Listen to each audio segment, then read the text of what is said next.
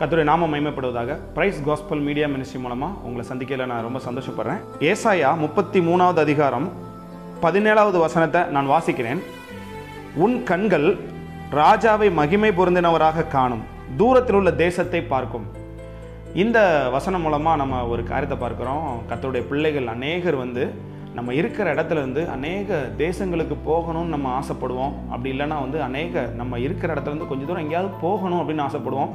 அப்போ ஆண்டவர் நம்மளை கூட்டு போவார் அப்படின்ட்டு காத்திருப்போம் அந்த மாதிரி மக்களுக்கான ஒரு விஷயத்தையே நான் சொல்கிறேன் அது மட்டும் இல்லை நம்ம ஒரு ஆசீர்வாதத்தை ஆண்டவரிடத்தில் கேட்கிறவர்களாக இருக்கும் இப்போ நாளுக்கு நான் ஒரு ஒரு சாதாரண நிலைமையில இருக்கிறேன்னா என்னால் உயரவே முடியலை அப்படின்னு நினைக்கிறவங்களுக்கும் இந்த வசனம் மிகவும் பிரயோஜனமாக இருக்கும்.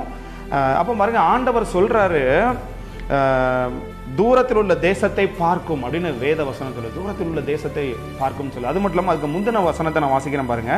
அவன் உயர்ந்த இடங்களில் வாசம் பண்ணுவான். கண்மலைகளின் அரண்கள் அவனுடைய உயர்ந்த அடைக்கலமாகும். அவன் அப்பம் அவனுக்கு கொடுக்கப்படும். அவன் தண்ணீர் அவனுக்கு நிச்சயமாய் கிடக்கும். இது பாருங்க ஒரு ஆசீர்வாதமான ஒரு வசனமாக இருக்கு நம்மளுடைய வாழ்க்கையிலையும்.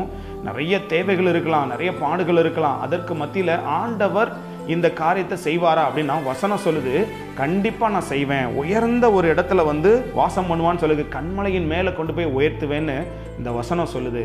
சரி அப்போ வசனம் வந்து இதை சொன்னால் நமக்கு நடக்க தானே செய்யணும்? கர்த்தருடைய ஆசீர்வாதத்துக்காக அநேக நேரத்தில் நம்ம காத்திருக்கோம். ஏன் நமக்கு வர மாட்டேங்க ஏன் நமக்கு வர மாட்டேங்க நம்ம அதற்கான நேரத்தை நம்ம பார்த்து கொண்டிருக்கலாம். ஆண்டவர் இருந்து இதுக்கு அதுக்கு வசனத்துக்கு முன்பாக ஒரு அழகான ஒரு காரியத்தை சொல்கிறார் பாருங்க.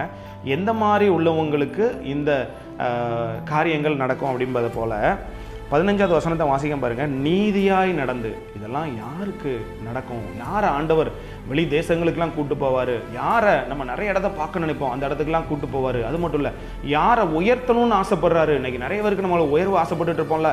அப்போ யாரை ஆண்டவர் உயர்த்தணும்னு ஆசைப்படுவார்? அப்படின்ற காரியத்தை அதுக்கு முந்தின வசனம் சொல்லுது. நீதியாய் நடந்து. நீதினா என்ன?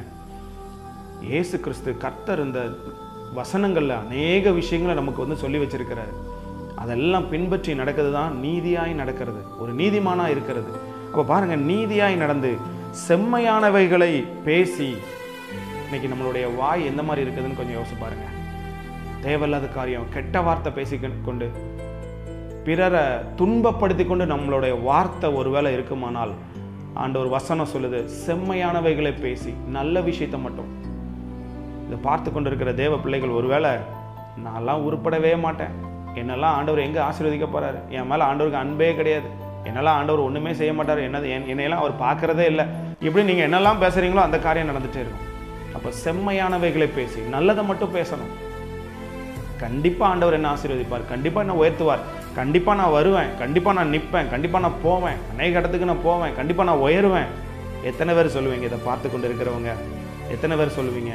நான் கண்டிப்பாக உயருவேன். என் ஆண்டவர் என்னை கண்டிப்பாக ஆசீர்வதிப்பார். அப்படின்னு எத்தனை பேர் சொல்லுவீங்க?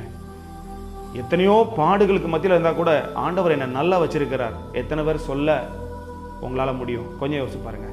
தலைக்கு மேலே ஏகப்பட்ட பாரங்கள் இருந்தாலும் சரி எத்தனையோ கடமைகள் இருந்தாலும் சரி என் ஏசப்பா என்னை நல்லா வச்சிருக்கிறாரு. நான் நல்ல இடத்துல இருக்கேன் நான் நல்லா இருக்கேன் நான் ஆசீர்வாதமாக தான் இருக்கேன். எனக்கு எந்த குறைவும் இல்லை. எனக்கு எந்த குறைவும் இல்லைன்னு எத்தனை பேர் சொல்ல முடியும்? கொஞ்சம் யோசிச்சு பாருங்க. என் பிள்ளைங்கெல்லாம் நல்ல பிள்ளைங்க எத்தனை பேர் சொல்லுவீங்க? என் கணவர் நல்ல கணவர் எத்தனை பேர் சொல்லுவீங்க? எனக்கு அமைஞ்ச மனைவி நல்ல மனைவி எத்தனை பேர் சொல்லுவீங்க? நான் நல்ல இடத்துல இருக்கேன் நல்ல ஊரில் இருக்கேன் நான் நல்ல வேலையில் இருக்கிறேன். எல்லாத்துலேயும் நான் பெட்டராக இருக்கேன். பெருமையாக பேசுறது இல்லைங்க. எல்லாத்துலேயும் நான் நல்லா இருக்கேன். எந்த குறையும் இல்லை. இப்படிலாம் இல்லாமல் அப்படியே நம்மளை நாம தாழ்த்திக்கிட்டு என் வாழ்க்கை ஒன்றுமே இல்லாத வாழ்க்கை ஒன்றுக்காகாத வாழ்க்கை. இப்படி போல செம்மையில்லாத வார்த்தைகளை பேசக்கூடாது செம்மையான வார்த்தைகளை பேசணும். உங்களோட நாவு நீங்கள் என்ன சொல்றீங்களோ அதன்படி தான் உங்களுடைய வாழ்க்கை அமையும். அப்போ ஆண்டவர் அப்படி உங்களுடைய நாவுக்கு அவர் ஒரு ஒரு வல்லமை கொடுத்துருக்கிறாரு. உங்களுடைய நாவுக்கு ஒரு வல்ல வல்லமை கொடுத்துருக்கிறாரு. நீங்க என்ன சொல்கிறீங்களோ அதன்படி உங்க வாழ்க்கை அமையுன்ற ஒரு ஒரு வல்லமை கொடுத்துருக்கிறார்.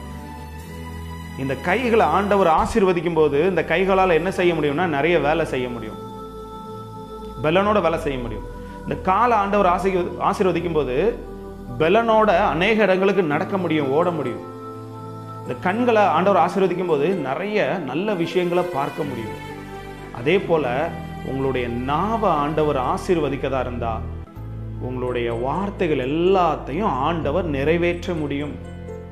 உங்க வாய் ஆண்டவர் ஆசீர்வதிக்க ஆயத்தமா இருக்கிறாரு. நீங்க செம்மையானவைகளை மட்டும் பேச ஆயத்தமா இருக்கிறீங்களா? கொஞ்சம் யோசிச்சு பாருங்கள் அப்போ இந்த வசனம் சொல்லுது செம்மையானவைகளை பேசி அதுக்கடுத்து பாருங்க. இடுக்கண் செய்வதால் வரும் ஆதாயத்தை வெறுத்து. ஒரு தவறான ஒரு காரியம் செய்கிறது மூலமா எனக்கு ஒரு வருமானம். இடுக்கண் செய்வதால் வரும் ஆதாயத்தை வெறுக்கணும். இன்னைக்கு ஏதோ நஷ்டம் மாதிரி தெரியும். ஆனால் நீங்கள் அதை வெறுத்தீங்கன்னா ஆண்டவர் ஆசீர்வாதம் உங்களுக்கு வரும். பரிதானங்களை வாங்காதபடிக்கு தன் கைகளை உதறி லஞ்சம் வாங்கக்கூடாது. நீங்கள் எந்த வேலையில் இருந்தாலும் சரி லஞ்சம் வாங்குற மாதிரி சுச்சுவேஷன் ஏதோ ஒரு விஷயத்தில் வரலாம். ஒருவேளை அந்த காசு தான் இல்லை ஏதோ ஒரு விஷயம் ஒரு நன்மை உங்களுக்கு இதை செஞ்சால் நீங்கள் எனக்கு இதை செய்வீங்களா?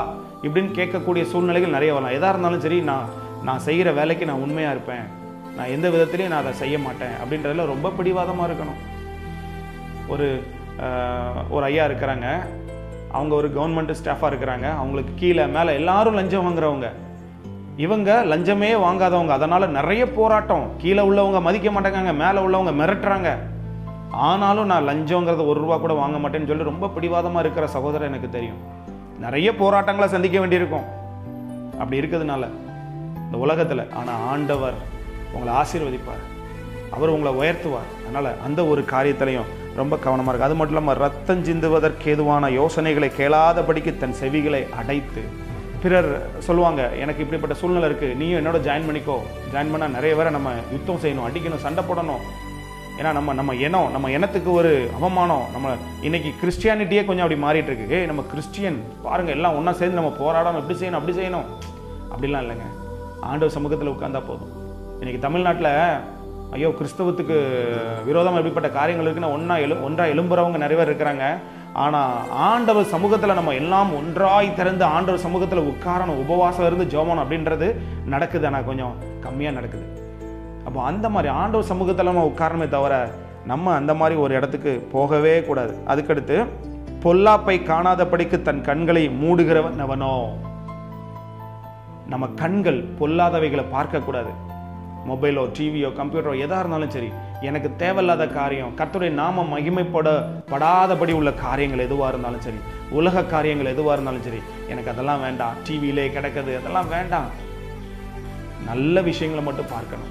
நல்ல விஷயத்தை மட்டும் பார்க்கணும். இன்னைக்கு நீங்கள் அப்படின்னு உங்கள் கண்களை நான் நல்ல விஷயத்தை மட்டும் பார்ப்பேன். நீங்கள் முடிவு பண்ணீங்கன்னா உங்கள் பிள்ளைங்க நல்லா இருக்கதை நீங்கள் பார்ப்பீங்க. உங்கள் குடும்பம் நல்லா இருக்கதை ஒரு நாள் உட்காந்து நீங்கள் பார்ப்பீங்க. உங்கள் பேரன் பேத்திங்கள் எல்லாம் நல்லா இருக்கதை பார்ப்பீங்க அதை விட்டுட்டு இன்னைக்கு உலக காரியங்கள் அதே விஷயத்தில் உங்கள் கண்களை நீங்கள் கொண்டு செல்வீர்களானால் உங்கள் வாழ்க்கையிலே அந்த சம்பவங்கள் அப்படியே நடக்கக்கூடிய விஷயமா இருக்கும். இதெல்லாம் நீங்கள் செஞ்சீங்கன்னா ஆண்டவர் சொல்கிறாரு இந்த மாதிரி செய்கிறவங்களை உயர்ந்த இடங்களில் வாசம் பண்ணுவான். கண்மலைகளின் அரண்கள் அவனுடைய உயர்ந்த அடைக்கலமாகும். அவன் அப்பம் அவனுக்கு கொடுக்கப்படும். அவன் தண்ணீர் அவனுக்கு நிச்சயமாய் கிடக்கும். உன் கண்கள் ராஜாவை மகிமை புரிந்தனோராக காணும். தூரத்தில் உள்ள தேசத்தை எல்லாம் பார்க்கும். அநேக இடங்களுக்கு ஆண்டவர் கூட்டு போவார். உங்களை கண்மலையின் மேலே உயர்த்தி வைத்து உங்களை அழகு பார்ப்பாரு. ஆண்டவர் உங்களுக்கு அவ்வளவு அற்புதம் செய்ய அவர் வாஞ்சியா இருக்கிறாரு. சில வேதத்தில் உள்ள சில காரியங்களை நம்ம கண்டிப்பாக செய்தாகணும். ஆண்டவர் உங்களை ஆசீர்வதிப்பாருங்க கண்களை முடிஞ்சோம் சோத்திரம் ஆண்டவரை.